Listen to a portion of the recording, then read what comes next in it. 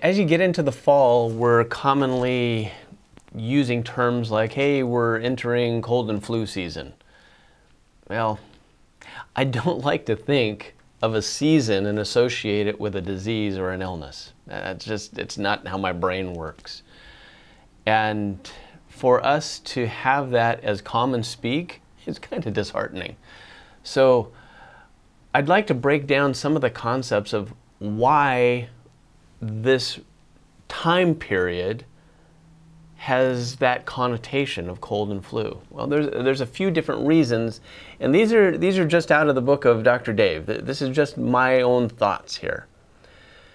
Now, as the world turns and we start to tilt on our axis and we start to lose the capacity to acquire adequate levels of vitamin D from the sun, we start to lose some of our key immune modulators.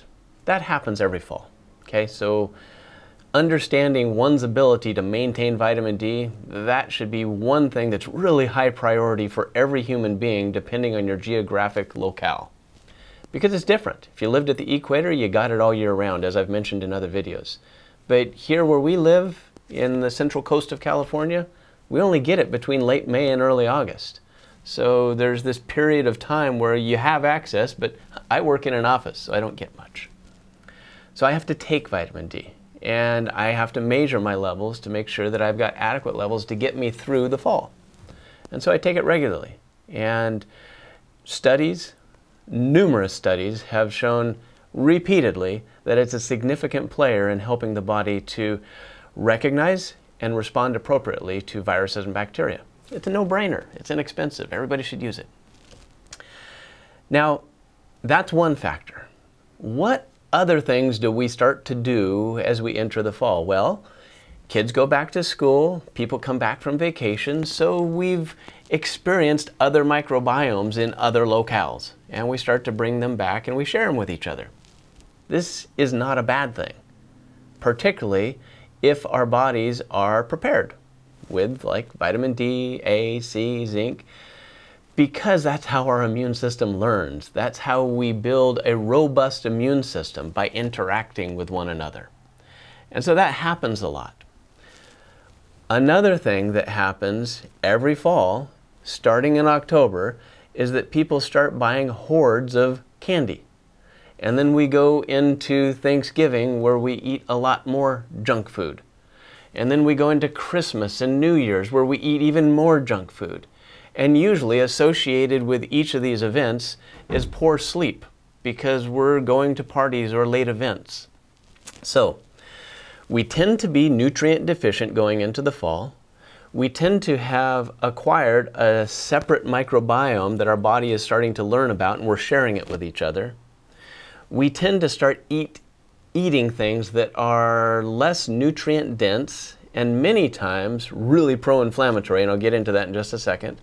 And then usually our sleep starts to become disrupted during that period of time.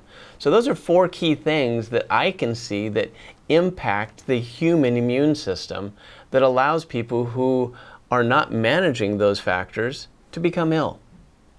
Those are all avoidable factors. Just take personal responsibility and be aware and don't do those things. And, and in fact, do the opposite make sure that you're, you've got a well-defined sleep schedule and focus on it. When you go to a party or event and you know that there's not going to be great choices for food there, either eat before you come or come prepared with your own. Educate the people around you that what they're doing is literally poisoning themselves. Make sure that you have taken the time to know your own biochemistry and manage your nutrient levels so that you go into the fall ready for it. If we do these things, people have a much higher probability of staying well.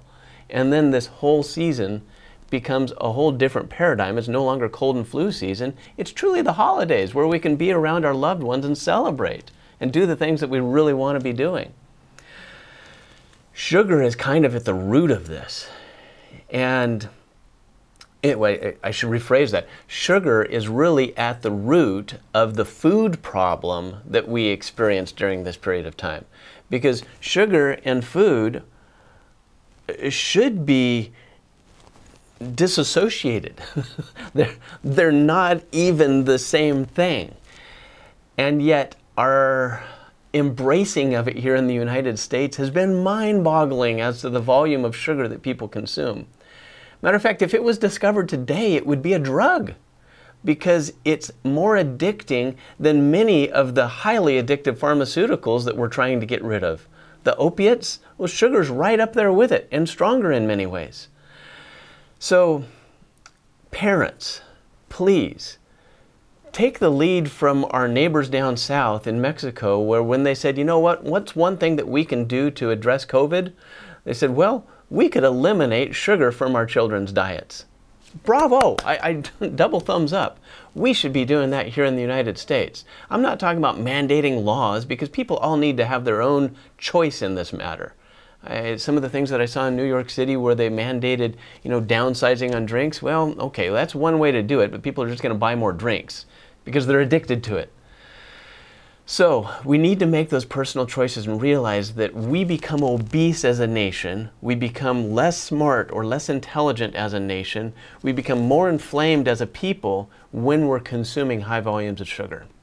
That's really low hanging fruit, an easy thing to extricate from the diet. Now, you can still have naturally occurring sugars from fruit, you just don't obsess on them and eat them too much you use them around times of activity where you're actually going to be burning those carbohydrates. It's these empty, nutrient devoid, sugar laden foods that we really just got to get out of our pantry. Don't support the companies that make them. Stop buying them. Leave them on the shelf. They'll stop making them because they won't be selling them. But as long as we support that industry, the shelves are going to be full of them.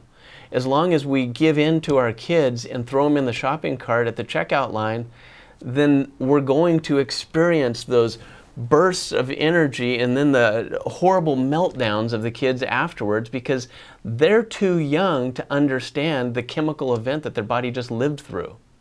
Those glucose insulin surges and crashes, they're mentally disturbing. They're, they're emotional traumas that we don't have to live through.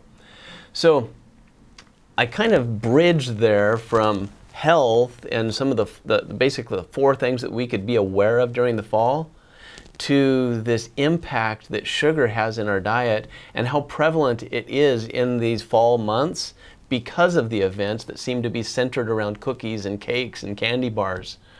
Find a different way to celebrate. I love it when people spend time in the kitchen talking with one another and preparing food. This is good. This is nurturing to one another. We just need to leave the sugar out of it and find other things to prepare that satiate our palate. One more point on that. Sugar truly is an addiction. And one of the fastest ways that we can change our propensity towards addictions to things like sugar is to do a short term fast or maybe a series of them. Because when you abstain from eating for a period of time, the first thing that you put into your mouth after that fast, your taste buds have become heightened and enhanced, and you'll actually enjoy it more. So, those are times when you can start to embrace new foods. I love doing that with people. So, maybe do like a 24 hour liquid fast. And then on the backside of that, prepare a meal you might not have thought to cook previously. Make sure that it has very little sugar in it, but it has good, healthy fats in it because our brain loves fat. And it's so good for it when you're providing the body opportunity to access ketones from those fats. You'll find that your satiation goes up relative to these healthier foods and you'll actually start to prefer them. Play around with that. Take the time to get away from the, the easy stuff. Go for things that have longer lasting value and find ways that you you can share that with your family. Have a great fall. Be healthy and really enjoy each other's company. We'll talk to you soon.